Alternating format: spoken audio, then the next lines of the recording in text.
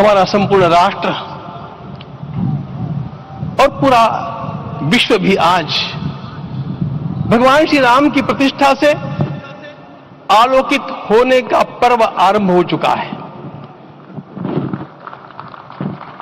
यह केवल एक मंदिर में एक मूर्ति की प्रतिष्ठा नहीं है। यह इस देश की अस्मिता, इस देश का स्वाभिमान और इस देश का आत्मविश्वास इसकी प्रतीक्षा है। 500 वर्षों की प्रतीक्षा के पश्चात यह संभव हो सका। इसके जो अनेक कारण हैं, उनके ऊपर तो आलोक हमारे सारे सम्माननीय अभ्यागत डालेंगे ही। मैं केवल एक काम के लिए यहाँ पर खड़ा हूँ, छोटा सा काम। कारण तो अनेक होते हैं, लेकिन अनेक कारण मिलते मिलते आखिर वे एक विशिष्ट स्तर तक पहुँच जाते हैं और उस स्तर पर कोई महापुरुष हम लोगों को उपलब्ध होता है और उस विभूति के कारण युग परिवर्तित हो जाता है। प्रकार का परिवर्तन लाने के लिए जीवन को साधना पड़ता है। और इस प्रकार जीवन साधने वाले हमारे इस देश की परंपरा के अनेक महान रत्नों में आज हम लोगों को समय की आवश्यकता, युग की आवश्यकता, सनातन के अंतकरण की आवश्यकता के रूप में हमारे सम्माननीय प्रधानमंत्री जी प्राप्त हुए हैं।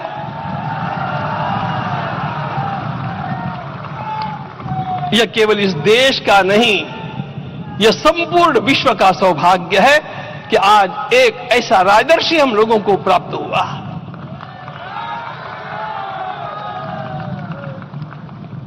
आपके मंगल हाथों से आज प्रतिष्ठा होने की बात थी। वह स्वाभाविक भी था। वो होना ही था मित्रों। लेकिन मुझे इस बात का आश्चर्य हुआ। जब मुझे लगभग 20 दिन पूर्व समाचार मिले कि माननीय प्रधानमंत्री जी को इस प्रतिष्ठा के लिए स्वयं अपने लिए क्या क्या अनुष्ठान करके सिद्ध करना चाहिए, स्वयं को उसकी नियमावली आप लिख करके भेजें।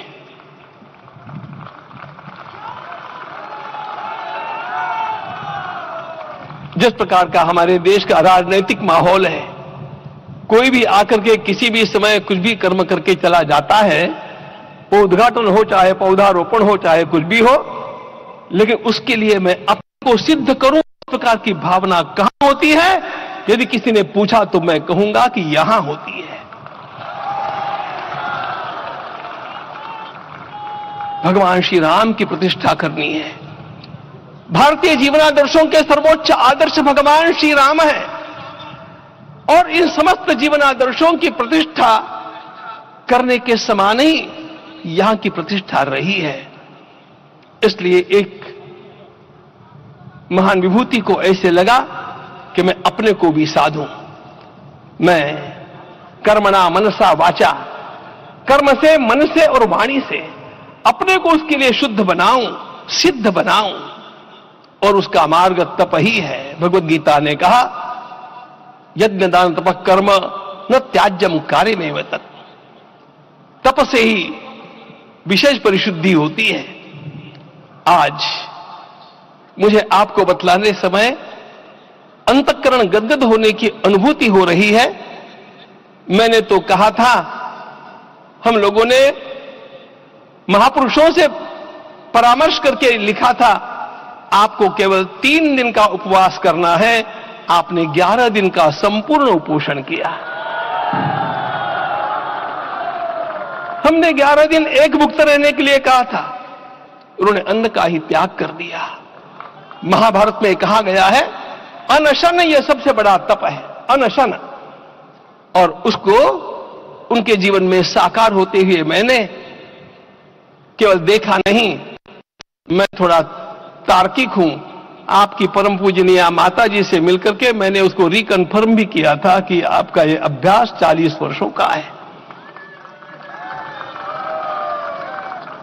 ऐसा तपस्वी कोई राष्ट्रीय नेता प्राप्त होना यह सामान्य बात नहीं है।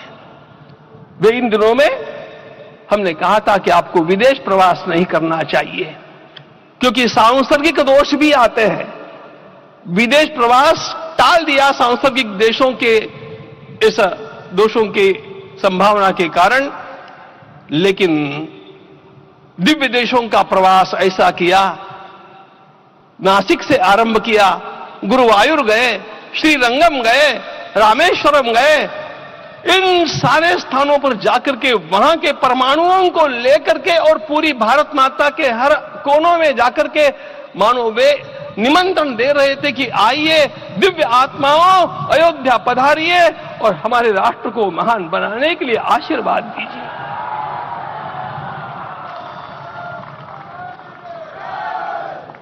हमने केवल कहा था, तीन दिनों तक आपको भूमि शयन करना चाहिए।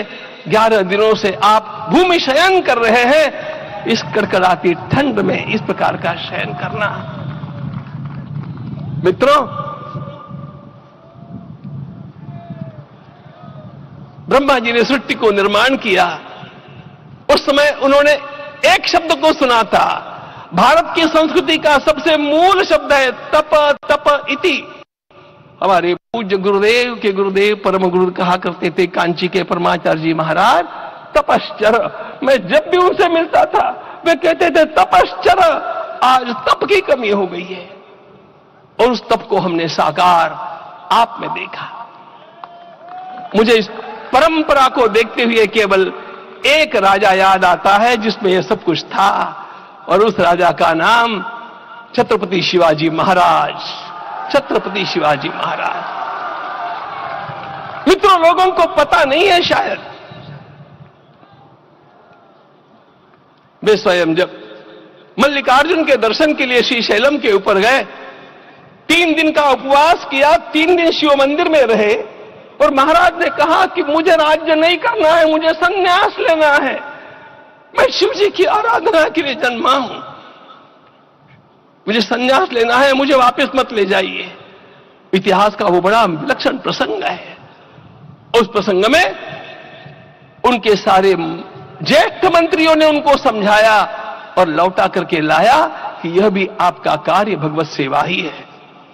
आज हम लोगों को उसी प्रकार के एक महापुरुष ऐसे प्राप्त हुए हैं, जिसको भगवती जगदम्बा ने स्वयं हिमालय से लौटा करके भेज दिया कि जाओ भारत माता की सेवा करो। तुम्हें भारत माता की सेवा करनी है। मैं अपने कभी श्रद्धा रखने के बारे में भावुक नहीं पाता हूँ। लेकिन कुछ स्थान ऐसे होते हैं जहाँ पर आदर के साथ अपना मस्तक अपने आप झुक जाता है। ऐसा एक स्थान हम लोगों को उच्च पदस्थ इस राजर्षि ने जब दिखाया तो मुझे छत्रपति शिवाजी महाराज के गुरु समर्थ रामदास स्वामी महाराज की याद आ गई। उन्होंने शिवाजी का वर्णन किया, निश्चयाचा महामेरु निश्चयाचा महामेरु बहुत जनासी आधारू, अखंड स्थितिता निर्धारू, श्रीमंत योगी श्रीमंत योगी श्रीमंत योगी। हम लोगों को आज एक श्रीमंत योगी प्राप्त हुआ।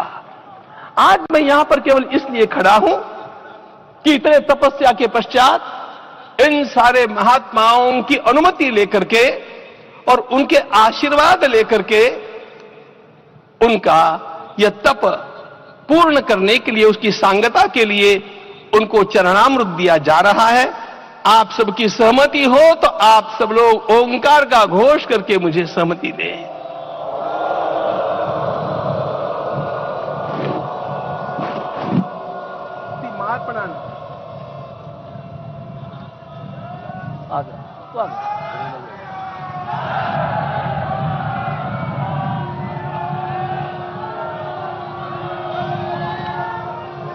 अपना उपवास पूर्ण कर रहे हैं माननीय प्रधानमंत्री जी।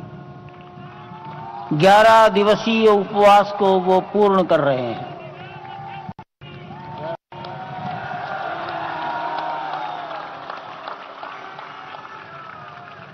मैं श्री राम जन्मभूमि तीर्थ क्षेत्र के अध्यक्ष पूज्य महंत नृत्य गोपाल दास जी महाराज